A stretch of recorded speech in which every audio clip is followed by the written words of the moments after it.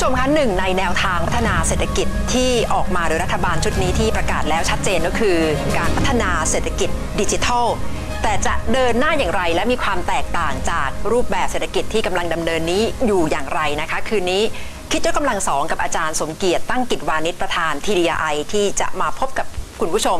ทุกๆวันศุกร์ค่ะ อาจารย์คะคงต้องอธิบายก่อนว่าเศรษฐกิจดิจิทัลเนี่ยคืออะไรนะคะ ใช่ครับอย่างแรก ที่เราควรสนใจกันนะครับ เศรษฐกิจดิจิทัลเป็นรูปแบบใหม่นะครับ เป็นเศรษฐกิจที่พูดถึงของที่จับต้องไม่ได้ มันไม่ใช่โต๊ะ ไม่ใช่เก้าอี้ ไม่ใช่ทีวีตู้เย็นอย่างที่เราเคยคุ้นเคยกันนะครับ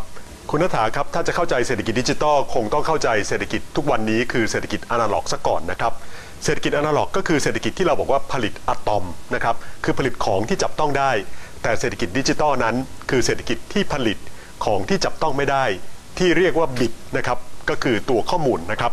ในเศรษฐกิจอนาล็อกนะครับของผลิตขึ้นมาจะมีน้ำหนัก ขนส่งไปต้องใช้พลังงานเยอะใช้เวลาเยอะ แต่ของในยุคดิจิตอลนะครับเป็นข้อมูล วิธีขนส่งไม่ได้ใช้พลังงานมากมาย และส่งไปได้เร็วมากเร็วเหมือนกับความเร็วแสงเลยนะครับ ต้นทุนการผลิตในยุคอนาล็อกนะครับผลิตแต่ละชิ้นเช่น ผลิตรถคันหนึ่งขึ้นมาผลิตรถคันที่ 2 ต้นทุนของคันแรกกับคันที่ 2 นั้น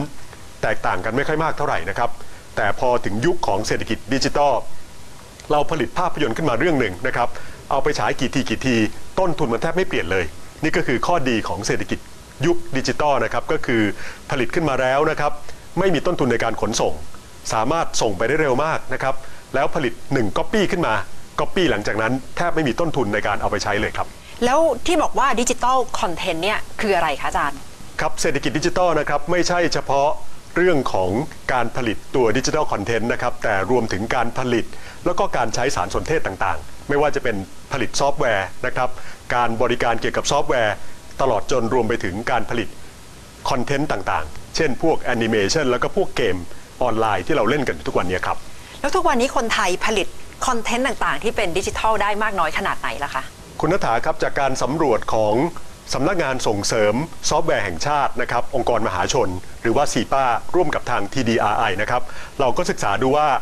คนไทยผลิตซอฟต์แวร์แล้วก็ใช้ซอฟต์แวร์กันมากน้อยเพียงไรนะครับการศึกษาก็พบนะครับว่าเรามีการนำเข้าซอฟต์แวร์นะครับเรามีการผลิตซอฟต์แวร์ใช้ในประเทศกันบางส่วน เช่นเราไปที่สี่แยกไฟแดง เราจะเห็นการนับถอยหลังว่าเหลือเวลาอีกกี่นาทีใช่ไหมครับที่เราจะสามารถเอารถออกไปได้ ตัวที่ทำให้เกิดอย่างนั้นได้ก็คือซอฟต์แวร์นะครับที่บริษัท คนไทยผลิตกันนะครับ เช่นบริษัท Force นะครับ แล้วเราก็ยังส่งออกซอฟต์แวร์นะครับ เช่นซอฟต์แวร์สำหรับบริหารโรงแรม 5 ดาวนะครับ ก็มีบริษัทคนไทยชื่อ Comanche นะครับ ซึ่งผลิตแล้วไปใช้กับโรงแรม 5 ดาวหลาย 10 ประเทศทั่วโลกนะครับ โดยสรุปแล้วนะครับ เรานำเข้าซอฟต์แวร์ประมาณ 31,000 ล้านต่อปีนะครับ เราผลิตเพื่อใช้ในประเทศนะครับ ประมาณอีก 42,000นะครับ และเราส่งออกไปยังน้อยอยู่ 3,300 ล้านนะครับยังน้อยอยู่แต่ว่ากำลังเติบโตครับ แล้วสำหรับหน้าตาของดิจิทัลคอนเทนต์ที่คนไทยผลิตได้แล้วเนี่ยเป็นยังไงบ้างคะครับเราก็มีทั้งสองส่วนนะครับ ที่เรารู้จักกันดิจิทัลคอนเทนต์ในส่วนที่เป็นรู้จักมาก ๆ ก็คือแอนิเมชันคือหนังการ์ตูนนั่นเองนะครับ เรารู้จักพวกการ์ตูนดิสนีย์เรารู้จักโดราเอมอนแต่คุณนัฐาทราบใช่ไหมครับว่าเดี๋ยวนี้คนไทยผลิตการ์ตูนแอนิเมชันได้ดีด้วยนะครับ เช่นที่เราเห็นกัน พระมหาชนกที่เพิ่งฉายกันนะครับ หรือเรายังผลิตนะครับการ์ตูนที่เรียกว่าเชลดอนนะครับโดยบริษัทคนไทย ผลิตแล้วส่งไปขายในสถานีโทรทัศน์ หลายสิบแห่งทั่วโลกนะครับในเวลาเดียวกันนะครับมีดิจิทัลคอนเทนต์อีกตัวหนึ่งนะครับก็คือส่วนที่เป็นเกมสำหรับคอมพิวเตอร์นะครับซึ่งเราก็นำเข้ามาเยอะเราก็ผลิตในประเทศเยอะ แล้วเราก็เริ่มจะส่งออกแล้วด้วยครับ อย่างเช่นเกมที่เรียกว่า Unblock Me เนี่นะครับก็เป็นเกมที่ยอดนิยมเกมหนึ่งนะครับในโทรศัพท์มือถือทั้ง Android แล้วก็ iOS นะครับโดยรวมๆแล้วนะครับเราผลิตแอนิเมชันนะครับเพื่อส่งออกนะครับปีละ 750 ล้าน ก็ยังไม่เยอะนะครับ ส่วนเกมก็ส่งออกไปประมาณปีละ 180 ล้าน ยังไม่เยอะเหมือนกัน แต่ตลาดพวกนี้ครับมีศักยภาพในการเติบโตสูงมากครับ ตัวอย่างของดิจิทัลคอนเทนต์ที่คนไทยผลิตได้ และน่าจะเติบโตได้มากกว่านี้นี่มีอะไรบ้างคะ มีเยอะเลยนะครับ ที่น่าสนใจครับคุณนัฐาทราบไหมครับ รถยนต์ทุกวันนี้เรามักมองว่ารถยนต์เป็นเศรษฐกิจยุคอนาล็อก ก็คือเป็นเหล็กเป็นหินเป็นพลาสติกอยู่ข้างในนะครับ แต่จริงๆแล้วรถยนต์คือคอมพิวเตอร์วิ่งได้ครับมูลค่าของรถยนต์นั้นก็คือมูลค่าของซอฟต์แวร์คอมพิวเตอร์ที่อยู่ข้างในรถ ซึ่งเอาไว้ควบคุมเบรกควบคุมการใช้พลังงานนะครับต่างๆ เพื่อให้มีประสิทธิภาพ แล้วรถยนต์อีกหลายยี่ห้อ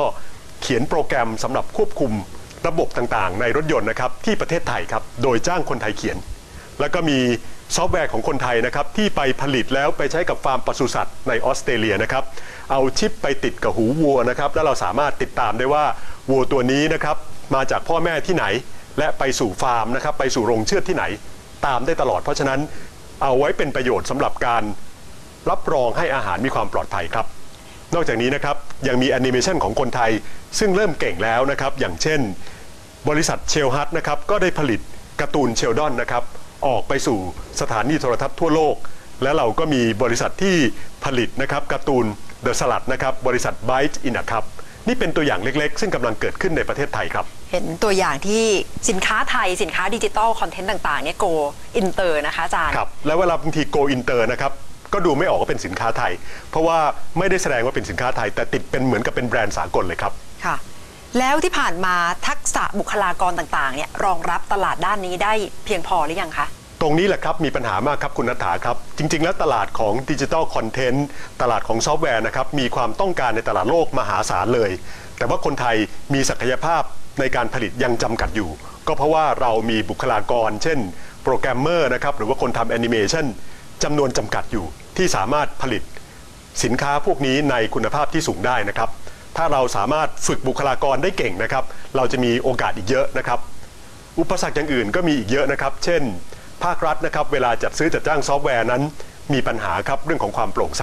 ทำให้บริษัทของไทย บางทีอยากจะทำตลาด ภาครัฐเองเพื่อเป็นจุดเริ่มต้นก็ไม่สามารถทำได้ครับ การสนับสนุนภาครัฐหลายเรื่องนะครับ ก็ยังมี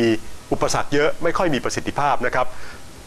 สนับสนุนแล้วก็ไม่ค่อยต่อเนื่อง ปีนี้ทำปีหน้าก็ไม่รู้จะทำหรือเปล่า แล้วจะทำยังไงถึงจะยกระดับทั้งวงการเศรษฐกิจดิจิทัลของไทยเนี่ยให้เติบโตได้มากกว่านี้คะวิธีการยกระดับนะครับทำหลายอย่าง แต่ที่สำคัญที่สุดนะครับเบอร์หนึ่งเลย คือเรื่องของการพัฒนาบุคลากรที่มีคุณภาพครับเพราะว่าการอยู่ในอุตสาหกรรม เศรษฐกิจดิจิทัลนั้นสำคัญที่สุดก็คือ บุคลากรที่มีความสามารถสูง ทั้งโปรแกรมเมอร์คนทำแอนิเมชันคนคิดเกมนะครับอันที่สองนะครับควรจะสร้างความโปร่งใส การจัดซื้อจัดจ้างภาครัฐนะครับ ถ้าภาครัฐจัดซื้อจัดจ้างดีๆ ได้ของคนไทยเข้าไปด้วยนะครับ ก็จะเป็นแหล่งเสริมให้ผู้ประกอบการไทยตั้งไข่ได้เร็วนะครับ และเรื่องต่อมานะครับ ควรสนับสนุนการทำตลาดส่งออกต่างประเทศนะครับทำยังไงให้ดิจิทัลคอนเทนต์ซอฟต์แวร์ของไทยไปสู่ตลาดโลกเพิ่มมากยิ่งขึ้นนะครับ สุดท้ายที่ขาดไม่ได้เลย เศรษฐกิจดิจิทัลอยู่บนฐานของโครงข่ายโทรคมนาคม เพราะฉะนั้นถ้าโทรคมนาคมในประเทศไทย มีบริการดีนะครับ มีต้นทุนไม่สูงเกินไป คนไทยจะมีโอกาสพัฒนาของใหม่ๆขึ้นมาได้อีกมากเลยครับ ดูแล้วเป็นเศรษฐกิจแห่งโลกอนาคตนะคะพอจะมีรูปแบบของประเทศไหนคะอาจารย์ที่ไทยน่าจะนำมาประยุกต์ใช้ได้นะคะ จริง ๆ มีเยอะนะครับ แต่ว่าประเทศที่น่าสนใจมากนะครับ และอยู่ไม่ไกลคนไทย คนไทยรู้จักดีพอสมควร ก็คือเกาหลีใต้ครับ เกาหลีใต้มีวิธีการในการส่งเสริม อุตสาหกรรม ในยุคดิจิทัลได้อย่างน่าสนใจมากครับ ค่ะ คอยติดตามกันครั้งหน้านะคะสำหรับรูปแบบที่เศรษฐกิจของเกาหลีใต้เดินหน้าและประสบความสำเร็จไปแล้วนะคะสำหรับเศรษฐกิจดิจิทัลค่ะ น่าจะเป็นรูปแบบที่คนไทยอาจจะนำมาใช้ได้ค่ะ วันนี้ขอบพระคุณอาจารย์มากค่ะ